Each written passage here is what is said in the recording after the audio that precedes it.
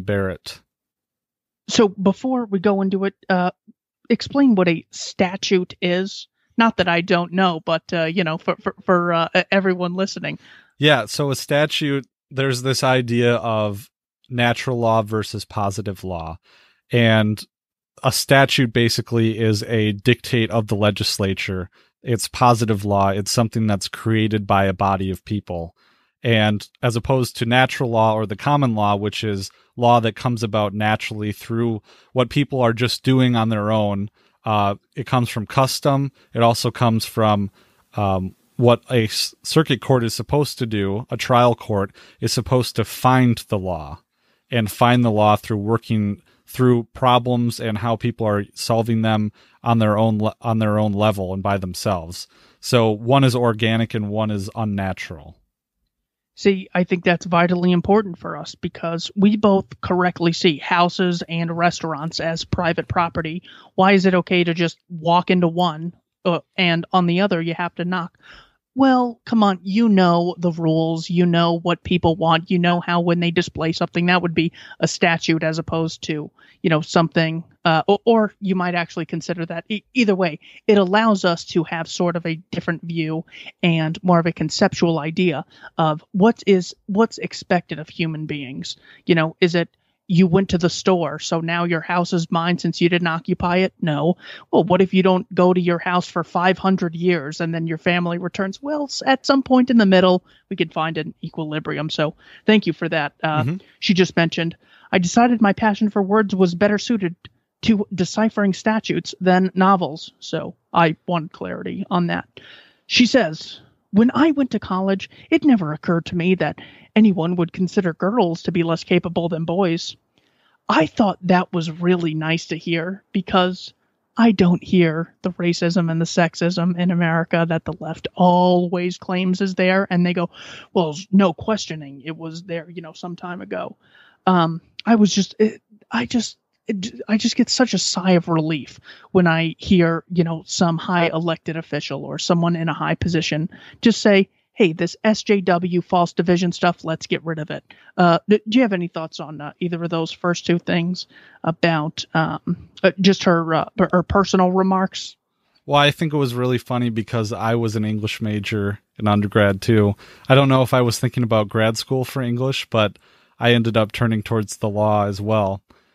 I also I really it is refreshing and I appreciate it that um a woman wouldn't you know she wouldn't hang everything on that hook. She she just goes out and does it. You know what I mean? She doesn't expect accolades for it or anything, but she's just like, "Yeah, I'm here. Let's do the law." Dude, yesterday I found out that the comedian Tim Dillon is gay and I couldn't believe it. I go, "What? He's never mentioned it. I've listened to tens of hours of his hilarious podcast, and it turns out he is.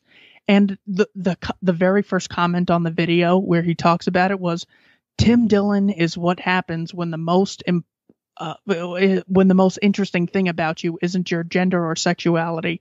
And I'm like, that's right. a perfect way. It's like, yes. th- there's a reason Amy Coney Barrett is very interesting to listen to comparatively to an SJW who, like, getting through a tweet, I have to, you know, pause, take a sip. Uh, I get triggered at their triggering. so it's, it's just a loop of, you know, people being overly sensitive. So, yes, I really appreciate uh, that, that from her. Yeah, you, you are so right. And I, I've put it this way too is that, you know, for my own self, when I was super duper into libertarianism all the time, I I thought I started to become the thing that I hated about SJWs is that they were always defined by their you know their sexuality or their race or something like that. And now I feel like I've reached a place where you know there's lots of different things about me. But specifically with with Amy Coney Barrett yes. The most interesting thing about her is definitely her judicial philosophy. I mean it's also her family, you know, and her kids in that background and balancing being a mom with but but I guess that has to do with her gender, but I think it has more to do with her lifestyle. You know, like for instance, Tucker Carl- Tucker Carlson. If you see a picture of him with his family, it is very clear that his family is very important to him, and that's a huge part of what he does. Um, so I I enjoy that about Tucker. You know, there's that great meme Tucker Carlson's family, him and his whole family smiling and hugging. Don Lemon's family, him and his boyfriend. Yeah, that's exactly what I was thinking of. And dude, th- th- that is so true. I fortunately have made sure that uh, you know I, I really try to find a balance of you know not being defined by it, investing myself in the thing that I only am in to hate this other thing called the state dude, what a terrible place that uh, that, that that that would be. So we, we yeah, but very good that uh, we found that equilibrium. Yeah, yeah, and I I would say I have, you know, um, but we're going to talk more about that in our next episode. I think we, we will about that. Okay, no, no spoilers. Okay, yeah. she goes on. So she clerked for Justice Scalia. His judicial philosophy was straightforward. A judge must apply the law as written not as the judge wishes it were. This really brings us into the uh, different views of the world that I mentioned previously. The constrained versus the unconstrained vision of, gosh, th- what I am dealing with is the combination of so many brilliant minds over so many centuries. This is what I should defer to. Even though I really think this is wrong, I should defer to that. That's certainly showing some humility. However, uh, once you're at that level, you should have the confidence to recognize that morality is objective. Because the question is, all right, uh, what was it, Dred Scott? You know, where they basically, you know, just enslaved a runaway. Um, you, I, you have to be willing to say that there are lines you can't cross. I thought that's extremely disappointing, and the fact that that wasn't mentioned at all. Uh, you know, no real natural law foundation, no sense of objective morality. Uh, I gotta say, I just hate that that's totally ignored. Thoughts on a judge must apply the law as written, not as the judge wishes it were. Yeah, there's there's a certain jurist who um, I know personally that I really admire because she's able to do this, and I've discussed with her, you know, in my career, just that she in the past she's had to make decisions like this where she she kind of wants it to be a certain way but she knows what the law is and that's always foremost in her mind is what the law is and trying to make the correct call based on that. And i i think it's definitely it's probably really hard to do. But one quality i think that judges have or they should have is they can't be afraid to make an unpopular decision. And that takes a lot of balls and you have to not give a crap what other people think. And I, I think that's really hard.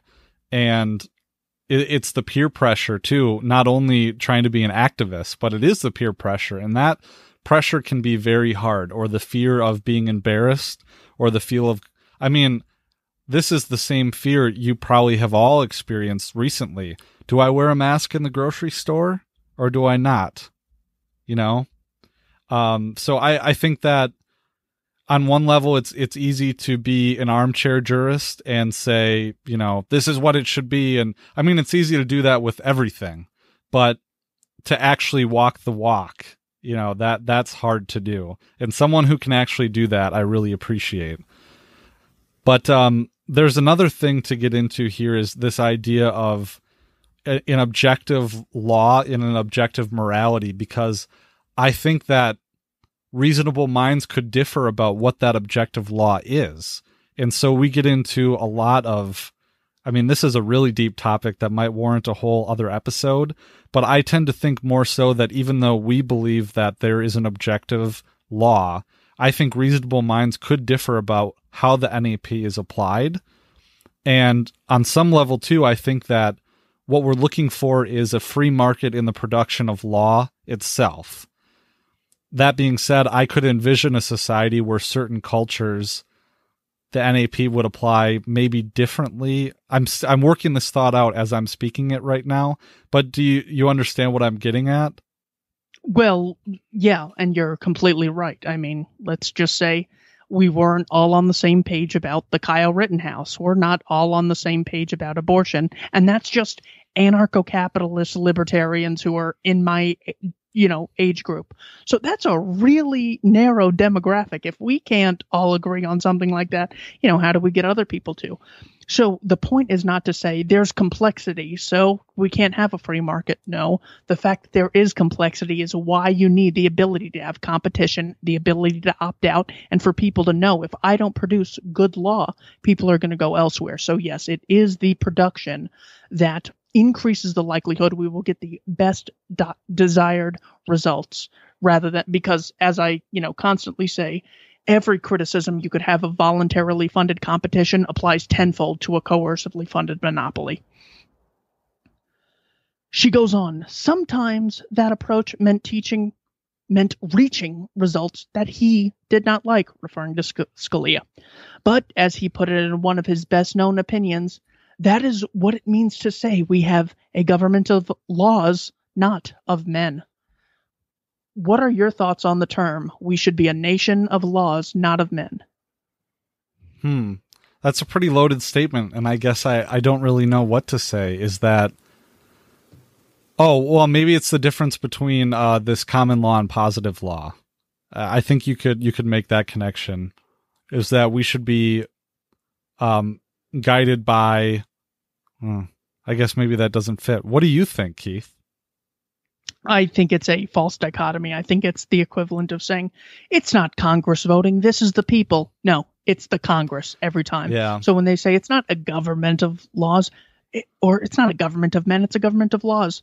Give me a law that applies the same to two men. Let's start with something really simple. Don't give me this 72,000 page IRS. Let's start with amendment number one freedom of speech. Can I uh, talk about where Patrick lives and why we should kill him? Well, no, but isn't that freedom of speech? Can I give out enemy uh, secrets to the enemy during wartime? Is that freedom of speech? Can I yell fire in a crowded theater? Which, by the way, I, I think I've told this. Uh, we used to do in middle school, and it was so fun because nothing would ever happen. So this idea that we need to regulate speech or people would scream fire, we do it all the time because we were conservatives, just trying to push the limits a little, and nothing ever happened. So it, it again is just telling you, watch out for this terrible thing. That everyone looked at us and just said, "Oh, idiots." So, okay, so those three things that come to mind. Julian Assange, there are people who say he should be tried for war crimes, even though he just used his speech. It, it's not of laws, it's always of men. It depends on what motivates the men and under which system they have justified powers. And so uh, I, I think uh, not understanding that is what gives the state a lot of its power. It's important to just recognize it. This is laws of people who have come to their decisions, and then we can start criticizing them. But we have to recognize the reality. It's not this, you know, Platonic ideal that's just objectively imposed. It's a judge's interpretation. The Second Amendment. Th- those are just the first two amendments. Mm-hmm. Think about all the laws ever. So yeah, uh, uh, that that is what's loosely referred to as the myth of the rule of law by John Hasnas. Well, maybe I'm, I think what I'm trying to do is ascribe the the most generous position to Justice Scalia, which would be that there's this idea of um, that the law is objective and we should be a nation based on the subjective law or the NAP and not a nation of men, something that's ruled, you know, by the tyranny of the majority or by popular opinion. And yeah. So Justice a note on Justice Scalia is in in in law school when we were in our uh, constitutional law classes and all those, everyone hated Justice Scalia. But I thought at the same time some of them respected him. You know, they always there was some kind of a respect there for his opinions and for his wit and for you know his colorful opinions. And i don't know if that's going to exist anymore. I don't know if that was like a real kind of respect like a mutual disagreement respect or a hatred. I i, I can't be too sure. Dude mutual disagreements i mean uh, when they were just talking about scalia getting voted 98 to nothing I don't see any judge anytime soon getting a yeah. you know vast majority to zero sort of thing that Elena Kagan got, Sonia Sotomayor got after Kavanaugh. Now with uh, you know Ginsburg leaving, that's uh, that's not going to happen. This is very related. She says Scalia taught me more than just law. He was devoted to his family. Resolute in his beliefs, and fearless of criticism.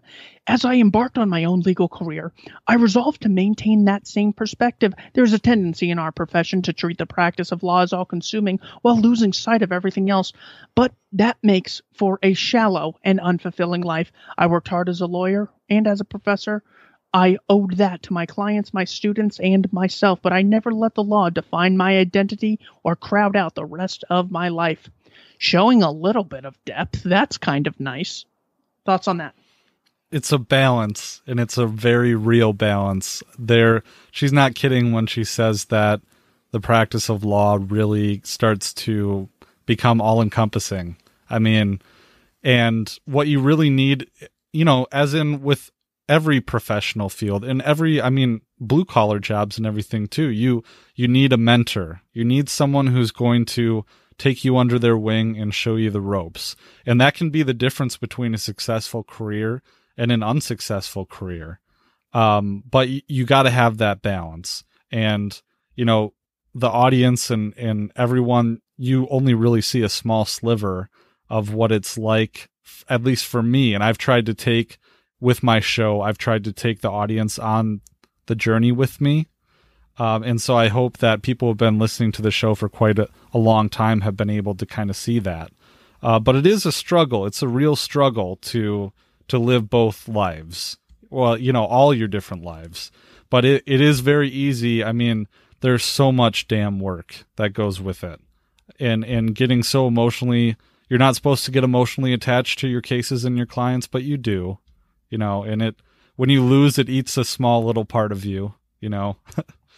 and I, I think she maybe you're going to talk about this, but I, I think she mentions it that um, try having these feelings when when she's reading cases, she tries to picture herself as each one of the litigants and see how her decision is going to affect them because for them every single case is the most important case of their life. So that's a lot of weight to put on your shoulders. Barrett continues a similar principle applies to the role of courts. Courts have a vital responsibility to enforce the rule of law, which is critical to a free society, but courts are not designed to solve every problem or right every wrong in our public life.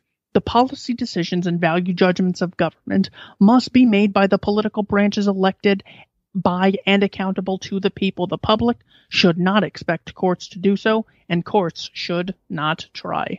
Anything of value there? I think that in a libertarian system, we wouldn't have to deal with this whole separation of powers issue. Maybe that's wishful thinking, but I think um, over over this summer, it's become very apparent exactly how tyrannical the rule of the mob can be in this lawlessness. Not only on the side of the mob rule, but also on the side of the police. Which, okay, you know, potato potato. But at the same time, when the police don't abide by the law. And Tim Pool said something about this with these Antifa uh, rioters in Portland that were just surrounded because they got snitched on. Um, and so they were surrounded. But there's a video of it, and you can see the police talking about a, a temporary restraining order that was put in by the city government. And he said, I don't give two F's about this TRO. So on one hand you have the rule of the mob, the literal mob, and you then you have the rule of the organized mob, and neither of them care about the rule of law. Um, so when we get into this talk about dropping the anarchy word, and we try and make that distinction between no, it, it doesn't mean no rules, because that would be something without the rule of law, and I think that's real tyranny. Yeah, there is a great book written by, I think he's a lawyer, uh, Randy Barnett called The Structure of Liberty. The best part about it is there's a summary at the end of each chapter. So it takes 10 minutes to reread the summaries, and then you get the whole book. He really makes a great case that there is a legal reasoning behind um, having a society without a state, which there's still law. As I mentioned with uh, that Stephan Kinsella, it he has a new book coming out, which you got to have him on to talk about. Law in a Libertarian World, I think it's going to be called. Um, but him and I were talking about it, and he just explains what law is in a society and says, by the way, uh, usually a group comes along and tries to monopolize this, and that's what the state is. So it's like th- there was no real intrinsic the state and the law. It's just one of the things they try to monopolize, like you know they try to do with healthcare or um, or anything else. She goes on. Um, that is the approach I have strived to follow as a judge on the Seventh Circuit. In every case, I have carefully considered the arguments presented by the parties, discussed the issues with my colleagues on the court, and done my utmost to reach the result required by law, whatever my own personal preference may be. I don't like that she kind of constantly goes back to this.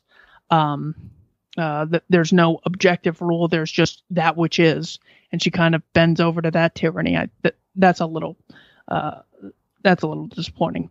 I try to remain mindful that while my court decides thousands of cases each year, each case is the most important one to the parties involved. After all, cases are not like statutes, which are often named for their authors. Cases are named for the parties who stand to gain or lose in the real world, often through their liberty or livelihood. Thoughts on that uh, paragraph?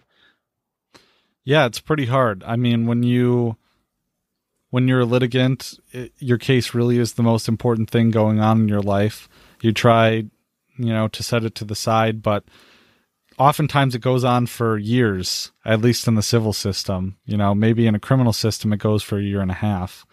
Um, but do you do you want to elaborate a bit? Can you read that section over again where she talks about there no there not being an objective answer?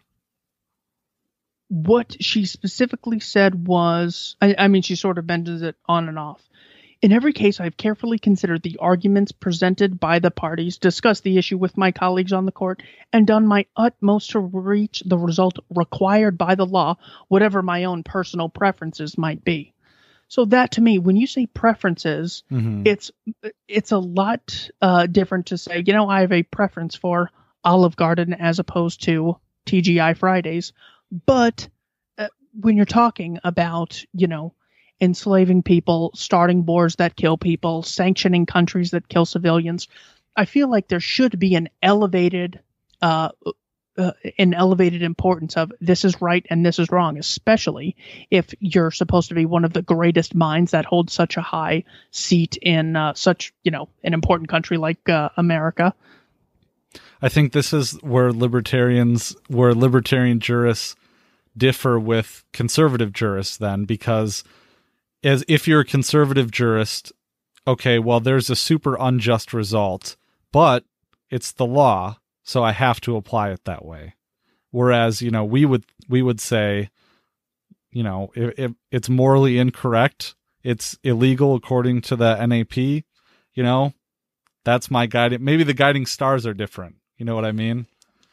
They they are, but uh, the conservative is caught in a contradiction. Mm-hmm. If the American Revolution was illegal, then their moral justification for what the law is is illegal. So they're in the contradiction of, well, you violently overthrew this government illegally. Mm-hmm. So anything it does is not legitimate. You need to abide by, you know, the previous legislature. So what they're really saying is this is what's generally accepted to be. That's what I'm going to continue to do.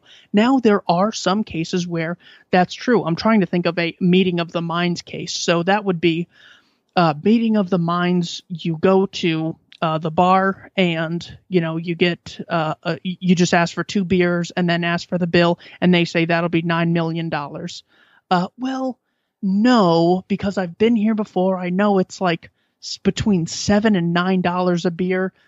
The, even though i didn't specify we have a general understanding because there's always room for more fine print of well uh, you basically um, you sat here for a long time and now we're going to charge you rent because that counts as renting out this booth. Uh, you never asked us if there was a fee. There is a general tendency to have an understanding just because it's efficient. The the cost is too high to, you know, agree on every single little thing. So you uh, end up having those, and that would be a case of, well, what's the custom in this culture? All right, then you should have expected that you have to tell them if something is going to be a million dollars for a drink. Because there are wines that are like a hundred thousand, so it's possible. Right. But you have to let them know. Again, the existence of you know, having clear contracts in no way justifies a monopoly state. Mm-hmm. Barrett continues When I write an opinion resolving a case, I read every word from the perspective of the losing party. I ask myself, how would I view the decision if one of my children was the party I was ruling against? Even though I would not like the result, would I understand that the decision was fairly reasoned and grounded in the law? That is the standard I set for myself in every case, and it is the standard I will follow as long as I am judge on any court that's pretty much the last thing I had highlighted. Thoughts on that final statement?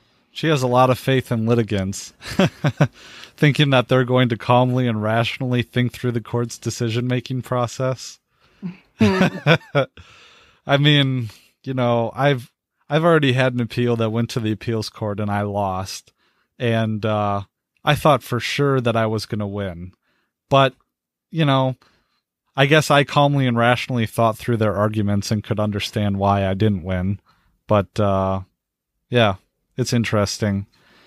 I I was thinking about there's Amy Coney Barrett, as far as I know, I don't know if she ever was a, a trial court judge because the difference between I don't want to go off too far here, but the difference between a trial court and an appeals court is that the trial court is supposed to find the facts so they try to determine what happened. And it's often said that trial courts have a lot of discretion to make certain calls. There's it's just the nature of the trial court.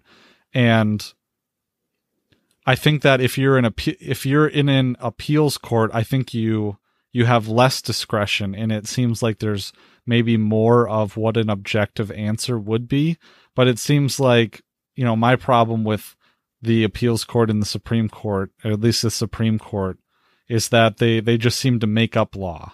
You know, they just make it up out of nowhere and can justify it afterwards. You can come to a certain decision and then justify it legally afterwards, and anyone can do that because they're damn smart. You know, insidious but smart. Definitely. So that uh, uh, is uh, basically the remainder. I did highlight the fact that Sandra Day O'Connor was the uh, first woman on uh, the the court, which I totally forget about. That you know, because RBG is really seen as uh, the one who gets all the attention for, uh, you know, really representing women and opening up, uh, you know, a pathway for women in the legal profession that just goes to show you how married people are to the cultural aspect of things. And that's something that, uh, you know, we certainly, of course, while, you know, we still have a division of labor within the freedom movement, let's specialize in our things. We got to realize that you can totally erase the fact that, you know, Republicans appointed a black guy on the Supreme Court. They appointed, uh, you know, the the first woman, higher percentage of Republicans voted uh, for the Civil Rights Act. Uh, they were against uh, the enslavement of blacks from the foundation of their party, and they're seen as racist. What? That's the racist party in America. So, you know, the. Hey, do I got you? Hey, you, you got me now. Okay. I was just saying it's it's incredible uh, how the narrative is controlled when the reality is so far from the truth. That's mm-hmm. all I got for you. Uh, always good to talk to you, Pat. Yeah, yeah. Why don't you uh, plug where the listeners can find your content? One place that I would ask them, of, uh, I am on YouTube, so uh, please uh, subscribe there. I know it's very easy. If you could please subscribe to my LBRY, Minds, and BitChute accounts, uh, just to know that there's a soft place to land on if I get banned from YouTube. I was actually flagged again the other day for something. So I don't know what the strike policy is. I think they're just doing takedowns without permanent strikes. Either way, I'm on thin ice. People are getting banned constantly all the time. Adam Kokesh was just banned. So uh, I would greatly appreciate if people subbed to me uh, on the alternative channels. All right. Yeah. And I'll put links in the show notes page libertyweekly.net forward slash 134. So I think that's everything that we got for you. I hope you enjoyed this episode and uh, we'll catch you next time. Peace.